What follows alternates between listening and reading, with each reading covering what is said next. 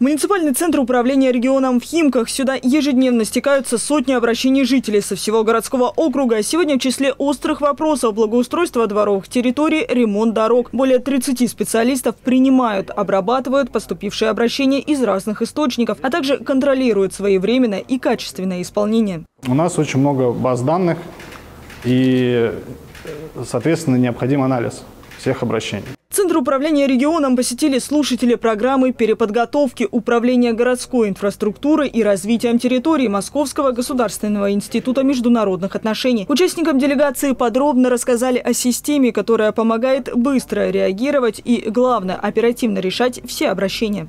У нас произошел диалог, задали очень интересные вопросы. Больше всего их э, интересовала наша деятельность, э, как мы контролируем э, работу коммунальных служб и служб а, содержания многоквартирных домов. Такие встречи помогают лучше вникнуть в управленческую деятельность, делятся слушатели. Курс обучения длится два с половиной месяца. Помимо теории проводят и подобные экскурсии. Каждую неделю участники программы посещают организации в разных округах Подмосковья. Слушатели приехали к нам для того, чтобы получить такие знания, которые помогут им стать управленцами на новых территориях.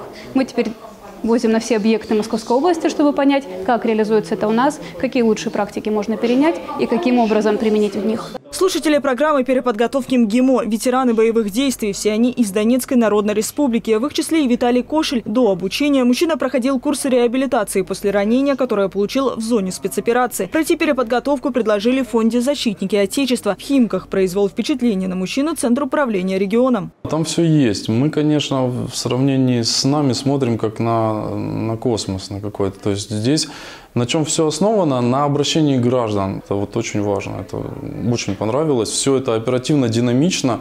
Все это с IT-технологиями, с новинками. Ну, дошли с обращения с одного месяца, с решения проблемы до четырех часов. Это колоссальная работа. Посетили в Химках слушатели и управляющую компанию «Жилищник». Сегодня предприятие обслуживает более 60% многоквартирных домов в округе. Здесь у нас девочки, которые занимаются проведением общих собраний.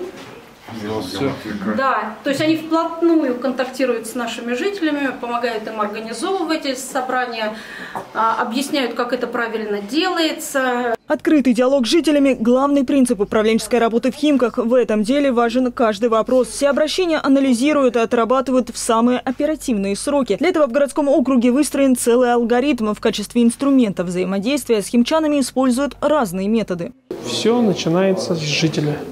Только от него нужно отталкиваться, жителей конкретного дома, конкретного двора, от него отталкиваться, формировать программу, ну и уже э, будет понятно, что нужно э, в каждом дворе или доме выполнить. То есть они подскажут.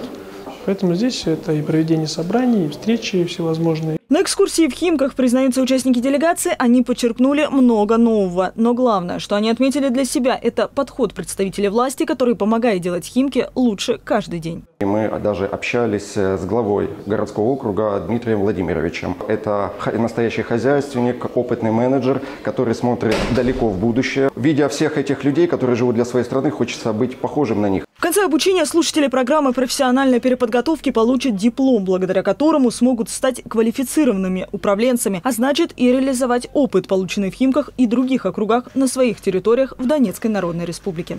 Анастасия Кравцовская, Руслан Сафин, Софья Ткаченко. Новости Химки ТВ.